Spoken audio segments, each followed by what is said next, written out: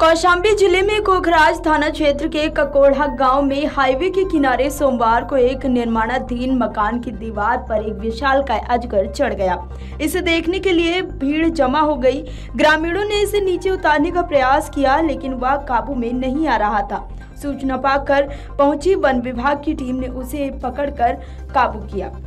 आपको बता दें कि हाईवे के किनारे स्थित एक मकान की दीवार पर सोमवार की सुबह अजगर दिखाई देने से हड़कंप मच गया।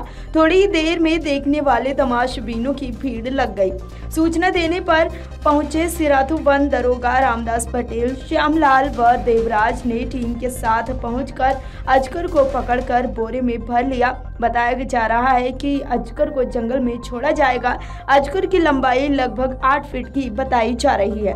Video desk Amar dot com अगर आप ये वीडियो YouTube पर देख रहे हैं तो हमारे चैनल को सब्सक्राइब करें और बेल आइकन को दबाना ना भूलें। अगर आप Facebook पर ये वीडियो देख रहे हैं तो हमारे पेज को लाइक करें।